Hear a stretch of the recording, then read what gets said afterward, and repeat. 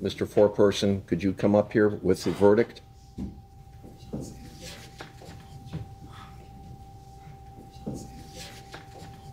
Take a seat here. I just got one more formality. Can I see the verdict, please?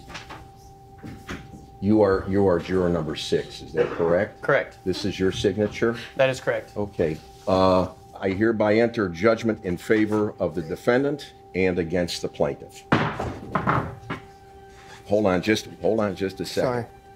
Your name is, Ronald Gladden. okay. Now, as I said weeks ago when you first entered this courtroom, that this was the last trial of my career, what I didn't tell you is it's also the first, uh, because I'm not a real judge. And you're not a real foreperson. This is not a real case. What?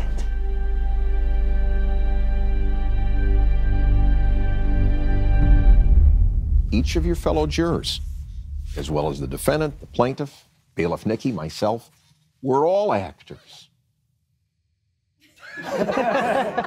Everything you saw was carefully planned.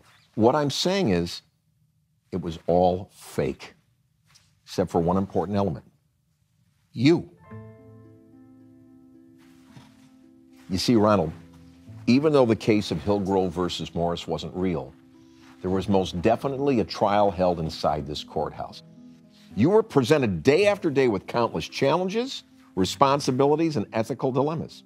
You knew Mr. Marsden caused the sequestration with his paparazzi stunt, yet you never told a soul.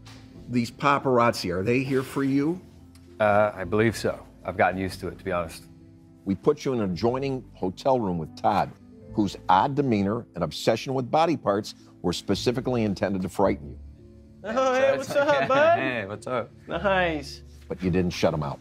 You welcomed him into your room and into your non optimally designed heart. You refused to accept Ken's $2,000, even though you beat him at Ute Fair and Square, I promise I will owe you. No, no, no, no, no, no, is- no, no, no, no, no, no. which, by the way, all those rules made up didn't exist. You took the blame for Marsden's giant ship.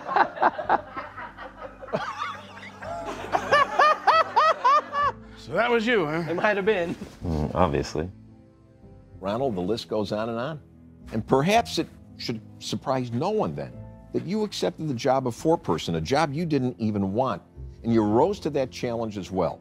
You used your innate sense of compassion and reason to lead a jury to a just verdict. He specifically said that these tanks had been moved, and Lonnie and I did witness this. Just as you considered all the evidence against the defendant during his trial and decided he wasn't liable, well, we've considered all the evidence presented during your trial.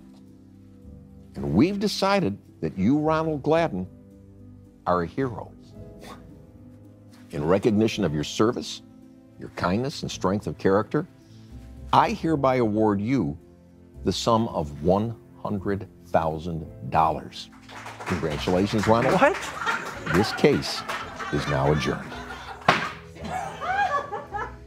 Are you being serious? Congratulations. Oh my God. I'll no even bang way. the gavel if you want.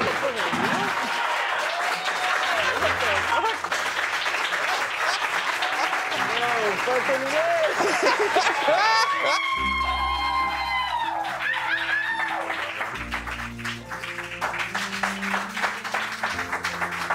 These are actors? Guys, come on up. Love you, bud. Hold on. Are you kidding? What? Lonnie too? You oh, suck. no way. So now what? We're gonna show you. Are you a real cop? No.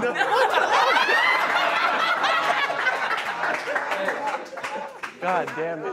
Ronald was like so in it, but then he stopped and took a moment with me and was like, "So you're not a real cop?" And I was like, "Not, not even a chance." That meant so much to me, just because it was like I wanted to be the best bailiff up in this joint. I'd like to think that I pick up on things and I'm pretty intuitive, but they all fooled me.